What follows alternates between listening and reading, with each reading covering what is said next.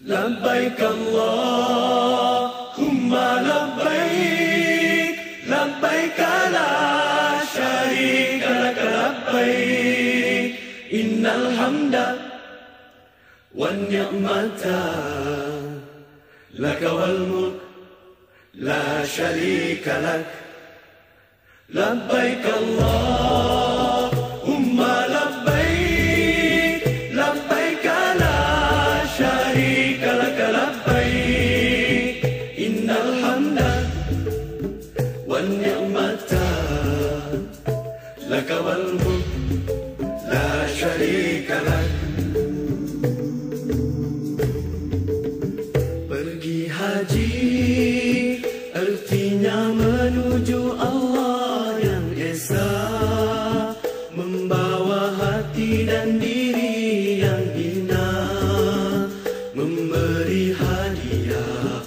kepada Allah Berhati-hatilah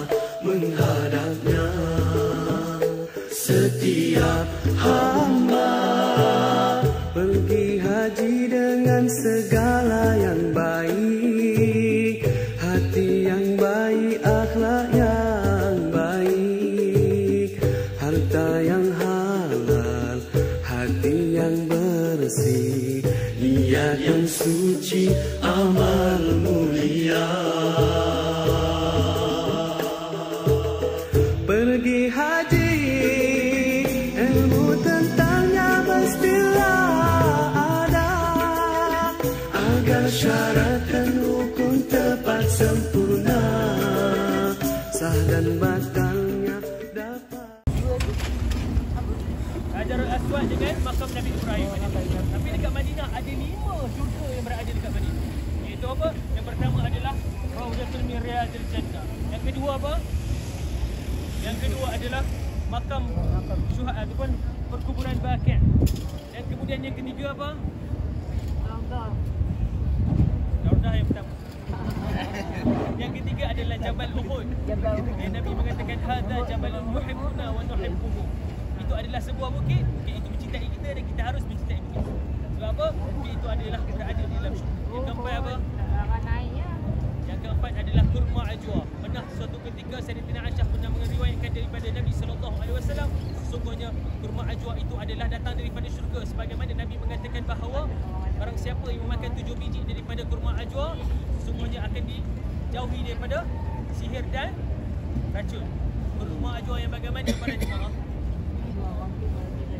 Ajwa yang tanam dekat kota Madinatul Munawwarah itu sahaja para jemaah. Bukan kurma ajwa yang datang daripada luar Madinah. Bukan kurma ajwa yang datang daripada luar Madinah.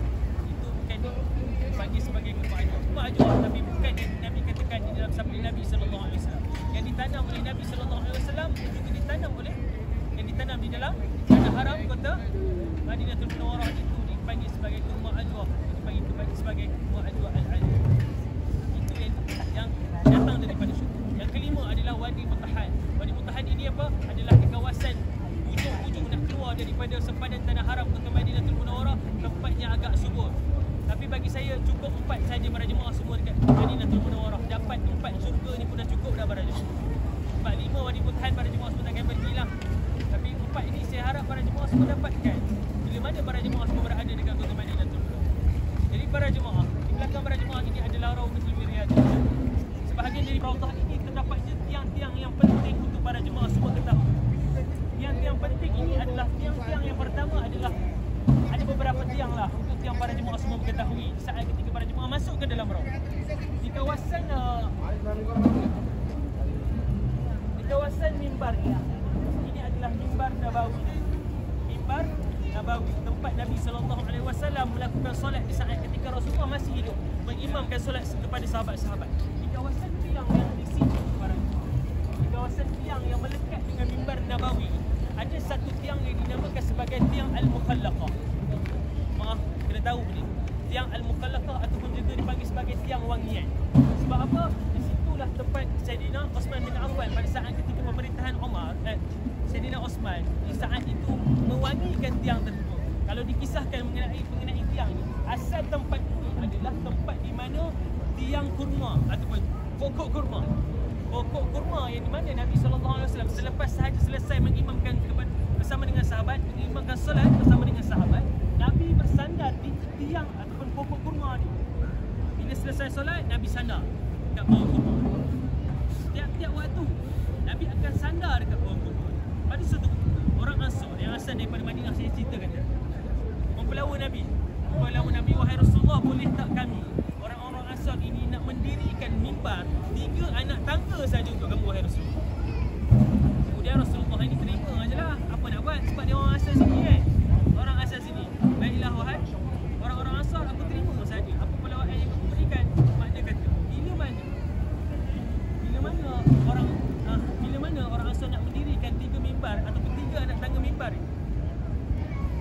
mereka terpaksa apa pada jemaah? Terpaksa apa? Menebanglah pohon kurma ni. Menebang ke pohon kurma. Setiap waktu. Yalah, ini dah terbiasa kan. Rasulullah sandar. Rasulullah sandar. Bila mana mendengar apa pelawaan daripada orang Ansar ni. Apa yang dikatakan pokok ni kurma. Dengar saja apa yang dikatakan.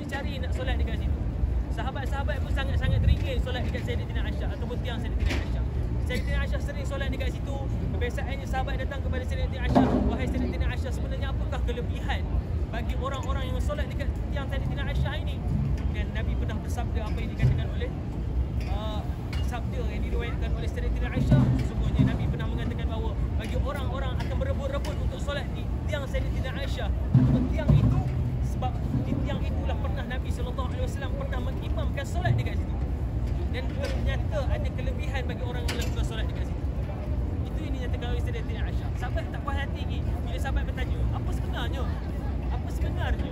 Kelebihan bagi orang solat kat situ wahai Sayyidina Aisyah. Sayyidina Aisyah tetap tidak berbunyi tidak memberitahu kepada sahabat. Tapi bila mana mereka dah bergerak Abdullah bin Zubair anak kepada ataupun anak saudara bagi Sayyidina Aisyah masih berada dekat situ. Solat tiap masa dekat situ. Dan sahabat lain sahabat-sahabat lain mengatakan bahawa pasti Abdullah bin Zubair mengetahui apa yang rahsia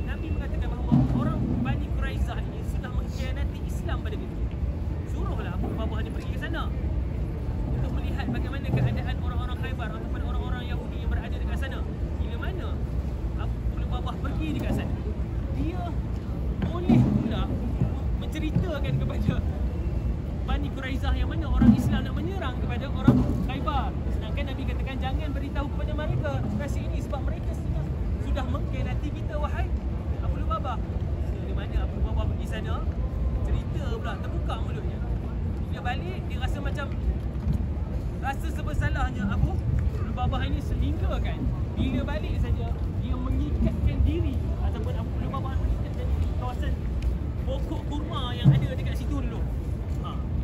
menaikkan diri sehingga kan dia tidak pernah buka tujuh hari tujuh malam berada kan anak dia suruh buka ayah buka lah.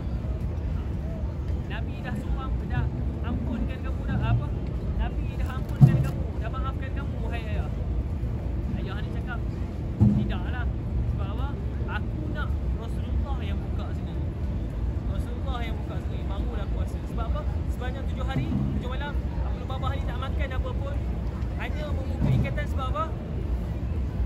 solat saja. Sepanjang yang lain makan apa semua dia tak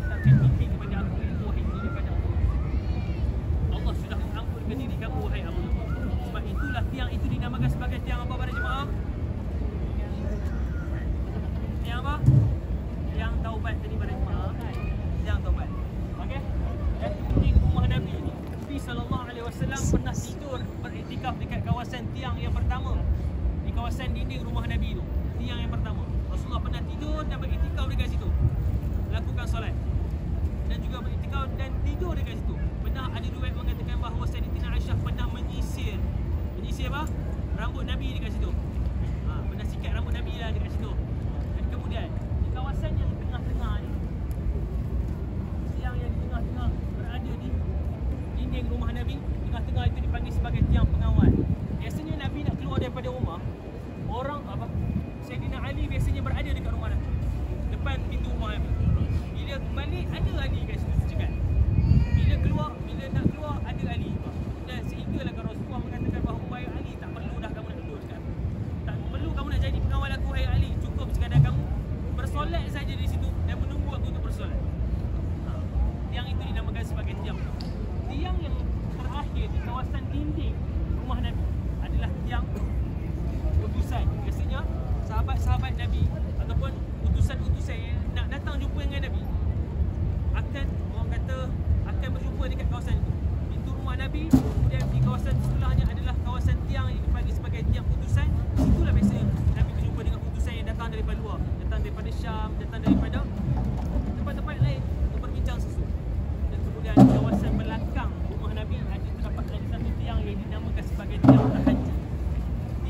sujud macam mana kawasan tahajud itulah biasanya Nabi keluar daripada rumah Nabi pergi ke arah belakang dan melakukan solat tahajud pada saat ketika waktu pagi sepertiga waktu pagi. Atau sepertiga malam lah orang kata. Nabi pergi ke arah. Dan di kawasan belakang manakah sebenarnya penanda terakhir bagi Raudah adalah di kawasan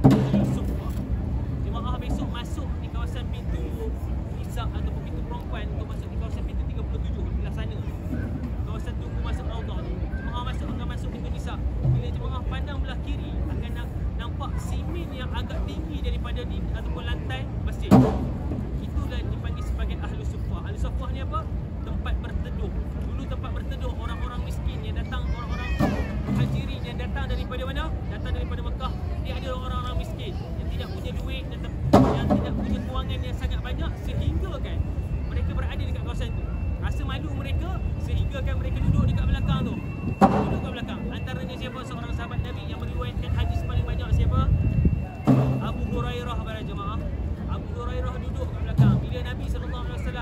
menyampaikan tazkirah Nabi menyampaikan uh, orang kata tausiah Nabi kepada sahabat-sahabat dia dengar satu-satu. Dia dengar satu-satu. Kalau kita tengokkan hikmah hari ni lah kalau anak murid duduk belakang tu jangan ingat anak murid tu malas betul tak? Tengok Abu Hurairah duduk belakang kawasan paling masjid paling belakang. Belakang Raudah lagi dekat kawasan Raudah tempat Nabi dia dengar Nabi satu-satu cakap. Sehingga kan Abu Hurairah ni meriwayatkan hadis yang paling banyak betul tak paling banyak bukan setakat paling banyak tapi paling sahih para jemaah yang apa yang dinyatakan oleh Abu Hurairah? Pasti Imam Bukhari mengatakan diambil dari riwayat Abu Hurairah mengatakan bahawa itu adalah hadis yang sahih. tak walaupun dengar daripada jauh lagi kita tahu riwayat yang paling banyak adalah Abu Hurairah Sayyidatina Aisyah kemudian uh, Ibnu Abbas Abdullah Ibnu Abbas tak antara lima orang yang orang kata paling banyak meriwayatkan hadis. Di situlah kawasan terakhir kawasan Rautah jadi sebaik esok waktu pagi jangan duduk dekat hujung-hujung tau para jemaah tiba-tiba jemaah solat dekat hujung-hujung dekat mimbar ni. Kalau boleh tolonglah masuk ke dalam sikit betul-betul dekat kawasan dinding bahagian kawasan tengah-tengah ini. Boleh? Kawasan wanita tak kisahlah wanita ke lelaki sebab orang lelaki adalah besok pagi eh besok pagi pula esok petang pukul tiga setengah dah berkumpul dekat hotel dan sebagainya lepas solat asar akan masuk ke dalam ok jelas jadi maknanya kata bila jemaah wanita masuk ke dalam Raudhah besok tolong masuk ke dalam betul-betul di kawasan tengah-tengah supaya kita tahu bahawa tempat Raudhah ini betul kita nak pastikan supaya tidak timbul was-was kepada kita boleh lebih baik berada di kawasan dinding-dinding kawasan bersebelahan dengan Nabi itu adalah sangat-sangat pasti di dalam Raudhah yang pasti adalah daripada rumah Nabi sehingga mimbar adalah Raudhah dan kemudian daripada depan sehinggalah di belakang. Yang dipanggil sebagai Ahlu Sufah di belakang makam. Maksudnya belakang makam ini adalah dipanggil sebagai Ahlu Sufah dan itulah kawasan terakhir bagi Raudhah jelas jelas bahawa wanita sebab besok jemaah akan masuk yang tak dapat masuk untuk uzuran dan sebagainya berdoa lah supaya dapat masuk harap-harap sempatlah untuk pada jemaah semua masuk mungkin boleh ambil slot-slot yang lain lah boleh berbincang dengan ustazah nanti boleh? sebab jemaah wanita akan dibawa oleh ustazah tau saya tak boleh lah Ah, bukan untuk masuk ke dalam Raudhah sebab dia lelaki untuk lelaki dan untuk wanita dia adalah berbeza jemaah lelaki saya akan bawa lah esok nah, melalui di pintu pintu 28 ataupun melalui pintu 24 belah sana belah sana kalau lelaki kat mana? lelaki tak ada tempat lain lah pintu Babu Salam sahaja di pintu As-Salam ini adalah pintu kalau menurut Ibnu Umar ataupun Umar Al-Khattab bahawa pintu itu khas untuk orang yang memberikan salam melalui saja di kawasan ini Ha, dia kata masuk pintu Babu Salam keluar daripada pintu Babu Akhir di persebelahan Terdapatnya apa orang kata? Makam baginda Nabi sallallahu alaihi wasallam. Tiga orang jasad yang berada dekat dalam. Yang pertama adalah baginda Nabi sallallahu alaihi wasallam. Yang kedua Abu Bakar. Yang ketiga adalah Umar Al-Khattab. Di situ ada tiga pintu para jemaah. Jelas tiga pintu. Pintu yang pertama apa tiga pintu pintu yang pertama adalah kosong para jemaah Eh, Pintu yang pertama adalah kosong. Sebab apa kosong?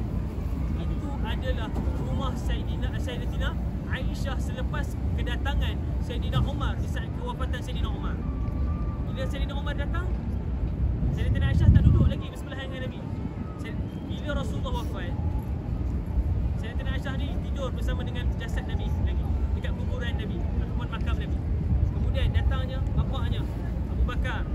akan minta terlebih dahulu kepada anaknya setelah kewafatan aku boleh tak aku ber berapa orang kata bersemadi di sebelahan suami kamu bersebelahan dengan suami kamu wahai Sayyidatina Aisyah. Sayyidatina Aisyah tak boleh nolak sebab itu ada ayah dia kan? Boleh ayah. Masih lagi Sayyidatina Aisyah tidur dekat kawasan itu jasad. Dan kemudian bila datang. Umar Al-Khattab Abdullah bin Umar. Ataupun Umar Al-Khattab mewasiat kepada Abdullah bin Umar anaknya anak Umar boleh tak nanti bila aku sudah wafat kamu bagi tahu dekat si Aisyah aku nak kuburan bersebelahan dengan siapa dengan dua orang Abu Bakar dan juga baginda Nabi sallallahu alaihi wasallam. Bila dah wafat Umar, datang anaknya Abdullah bin Umar jumpa dengan Sayyidatina Aisyah. Sayyidatina Aisyah cakap boleh. Duduklah sebelah. Kemudian dia rasa bila bila mana Umar Al-Khattab berada dekat situ. Apa? Umar Al-Khattab lah. Datang bersemadi. Sayyidatina Aisyah mendirikan satu dinding. Satu dinding ini adalah untuk menutupi ruang tempat tidur siapa? Sayyidatina Aisyah di pintu yang pertama. Tiga pintu dekat situ para jemaah. Ada tiga pintu. Jasadnya mana semua para jemaah? Jasad itu semua di yang di tengah-tengah. Bukan satu pintu. Biasanya kalau orang pergi dululah. Dulu dia fikir mereka akan fikir pintu yang pertama adalah baginda. Pintu kedua adalah Abu Bakar, pintu ketiga adalah Umar. Bukan macam itu para jemaah. Tapi jasad itu semua berada di pintu yang di tengah-tengah. Macam bagaimana susunannya Kepala Nabi SAW menghadap ke arah pintu Babul Salam Muka Nabi menghadap ke arah Kiblat Kaki Nabi menghadap ke arah pintu Babul Bakar Badan Nabi mengiring lah. Kemudian kepala Sayyidina Abu Bakar berada Sayyidina Abu Bakar berada di belakang Nabi. Di bahu Nabi ada kepala? Sayyidina Abu Bakar. Sama juga susunannya. Sama juga susunannya. Sama juga susunannya. Sama, juga susunannya. Kepalanya menghadap ke arah Babul Salam, muka adalah menghadap kiblat dan kedua kaki menghadap Babul Bakir. Sama juga susunan bagi Sayyidina Umar Al-Khattab. Semua berada di tengah-tengah jemaah. Yang pintu terakhir itu apa para jemaah? Adalah menurut riwayat adalah tempat setelah Nabi Isa salam diturunkan. Nabi Isa tak wafat betul? Pada akhir zaman Nabi Isa salam diturunkan kembali untuk membawa Islam, meletakkan kebenaran bagi Islam para jemaah. Betul? akhir zaman, peristiwa akhir zaman Semua mesti tahu punya Betul? Di situlah tempat kewafatan bila wafatnya Nabi Isa AS di situlah tempat jasad Isa AS kan diletakkan di bersebelahan dengan baginda Nabi SAW dengan dua orang sahabat. Pada suatu ketika Sayyidatina Aisyah pernah mempelawa siapa? Abdul Rahman bin Auf Sahabat seorang sahabat Nabi yang sangat baik dengan Nabi, sangat dermawan. Antara Abdul Rahman bin Auf ini adalah 10 orang sahabat yang dijanjikan syurga yang, di, yang, yang diberitahu oleh baginda Nabi sallallahu alaihi wasallam. Pada suatu ketika Sayyidatina Aisyah mengatakan kepada Abdul Rahman, wahai Abdul Rahman, setelah sahaja kamu pergi, wahai Abdul Rahman, kata je eloklah. Setelah kamu pergi, aku ingin meletakkan kamu wahai Abdul Rahman di bersebelahan dengan suamiku, bersebelahan dengan Nabi di bawah kubah hijau tu pada jemaah. Itu yang dinyatakan oleh siapa? Sayyidatina Aisyah kepada Abdul Rahman bin Auf. Kemudian apa yang dikatakan oleh Abdul Rahman? Wahai Sayyidatina Aisyah, aku tidak mahu berada di samping di kawasan itu. Wahai Sayyidatina Aisyah, kerana apa? Abdul Rahman terus jawab supaya Abdul Rahman terus jawab kepada Sayyidatina Aisyah, aku tidak mahu tempat itu dikatakan oleh sahabat-sahabat sebagai kuburan oleh sahabat-sahabat. Cukup aku sekadar masuk ke dalam kuburan bakit sudah mencukupi untuk aku. Kuburan bakit mana para jemaah? Jemaah boleh melihat daripada arah sini. Daripada belakang para jemaah itu adalah kuburan bakit. Apa ya? Yang pagar tu. Dinding tu.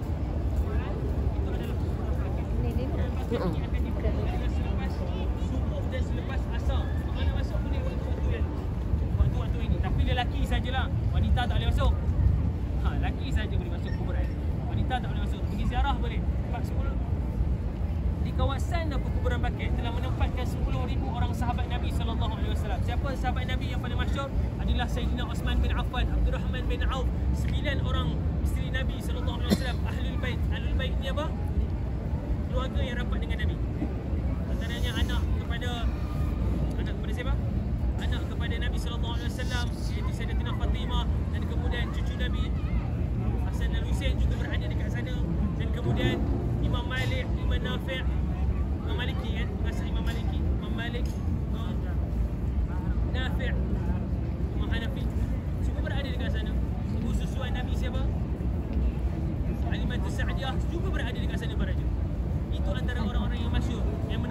10,000 orang sahabat Nabi sallallahu alaihi wasallam. Yang mana orang yang berada dekat kota Madinatul Munawwarah, yang wafat dekat kota Madinah, yang mati dekat kota Madinah mereka akan dikuburkan di sana. Nabi sallallahu alaihi wasallam senantiasa mengatakan bahawa man istata'a yamuta fil Madinah falyaf'al faman ashfa'u liman mata biha. Barang siapa yang mampu untuk mati di kota Madinah, maka lakukanlah. Sesungguhnya Allah Subhanahu wa taala akan memberikan syafaat bagi orang yang mampu mati di kota Madinah. Sebab itulah bila kita ada kat Madinah, doa doa untuk mati dekat kota Madinah. Bukan kita minta mati. Bukanlah minta mati nak mati saja kan. Sekarang jemaah takut pula minta doa mati apa? Selepas hari kiamat Rasulullah sendiri. Kemudian selepas itu adalah dua orang sahabat. Selepas itu apa? Kuburan Bakir. Sebab itu orang beruntung. Bila mati, mati dekat Madinah, Nabi nak beri syafaat. Kemudian masuk ke dalam kuburan Bakir, tempat yang dijanjikan dibangun lebih awal. Kita kalau mati dekat Malaysia, jasad kita dekat Malaysia, agak-agak lepas hari kiamat, agak-agak bila kita akan dibangkitkan pada Jumaat. Tak tahu betul? Kita tak tahu bila akan dibangkit. Bukan lepas uh, bukan lepas uh, hari kiamat kita terus dibangkitkan semua, bukan? Ha. Kuburan yang ketiga adalah kuburan Bakir. Kita tak tahu lagi, tentang kita lagi tengah kena pukul lagi dalam lubang kubur tu pada Jumaat. Kita tak tahu lagi. Sebab itulah bila dekat Madinah, rajin-rajin berdoa kepada Allah Subhanahu Wa Taala untuk apa? Untuk senantiasa untuk kita mati dekat kota Madinah Munawwarah. Dahlah mati dekat Madinah. Makam pula di samping Nabi dekat dalam bakit. Beruntung bagi orang yang melakukannya para jemaah. Ingat para jemaah. Bila kebiasaannya di sini selepas solat fardu akan ada solat jenazah. Tolong bangun ringankan diri para jemaah untuk solat jenazah. Yang mana fardu dipanggil sebagai fardu kifayah untuk diri kita yang fardu yang sangat dituntut untuk kita supaya kita melakukan solat jenazah. Jemaah jangan tanya sebab apa. Ustaz betul betul betul ke ada jenazah kat ustaz? Saya nak cakap apa? Memang betul-betul ada jenazah kat situ. Apakah itu sahaja sebagai adat saja? Benar, jemaah tanya macam tu. Adat kot ni ustaz. Adat kot ni ustaz. Adat macam mana memang ada. Memang ada jasad yang berada dekat depan tu. Memang ada dekat depan tu. Kemudian bila selesai jemaah boleh bawa masuk ke dalam kubur. Jadi janganlah lepaskan untuk para jemaah semua solat jenazah dekat kota Munawwarah dan juga kota Mekah. Saya pasti bukan setakat takkan miss lah jemaah akan solat jenazah dekat sini. Ganjarannya apa para jemaah? Sebesar pahalanya sebesar apa? Bukit Uhud para jemaah. Jemaah tengok esok bila nampak pergi pandang belakang hotel nampak Bukit Uhud besar mana. Itulah ganjaran bagi orang yang melakukan solat jenazah. Jemaah solat jenazah kat mana-mana pun sama. Mati ya. Kat Malaysia pun sama pada Jumaat. Tapi kalau solat jenazah kat Malaysia, kalau keluarga kita mening- meninggal hari ni, besok ada tak dari keluarga kita meninggal lagi? Kawan-kawan kita meninggal lagi, ada tak besok? Tak ada pada Jumaat. Datang 5 tahun lagi, 10 tahun lagi. Datang langsung tak solat. Kalau subuh, azannya adalah pukul 4.38 masuk waktu subuh. Azan pertamanya adalah apa? Satu, sejam sebelum ataupun satu jam sebelum adalah 3.38 untuk gerak jemaah solat. Untuk gerak jemaah untuk pergi masjid. Untuk solat tahajud lah orang kata. Ha, solat tahajud. Bangun pagi, pergi ke masjid dan kemudian selesaikan solat. Apa yang para jemaah semua boleh solat. Itu orang kata nak gerak. Azan untuk gerak para jemaah semua solat lah. Sama lah juga untuk waktu solat Jumaat. Jemaah lelaki dan juga wanita. Lelaki memang wajib lah. Wanita juga boleh solat Jumaat dekat sini. Ada juga azan pertama setengah jam sebelum. Setengah jam sebelum tu azan pertama. Maknanya azan pertama tu tak boleh lagi solat Qabliyah. Jelas? Jangan solat qabliyah lagi. Azan yang kedua dia terus uh, khatib akan terus baca khutbah. Masa tu jemaah boleh solat qabliyah sunat. Jelas? Jelas ni? Kemudian program besok lah. Program besok adalah uh, ke dalam Rawah. Besok pagi pukul 6 pagi. Pukul 6 pagi kalau boleh 5.50 selepas jemaah breakfast kalau boleh berada dekat lobi. Semua dalam keadaan berwuduk pada jemaah sebab saya nak bawa ke jemaah semua ke pintu 363. Ustazah akan tunggu dekat situ sana. Ustazah akan bawa jemaah masuk ke dalam. Boleh? Yang mana mas yang mana boleh masuk lah. Yang mana boleh masuk ke dalam raudhah pada jemaah. Yang mana boleh masuk? Masuk? Tolong turun ke lobi dan pastikan jemaah semua dalam keadaan berwuduk.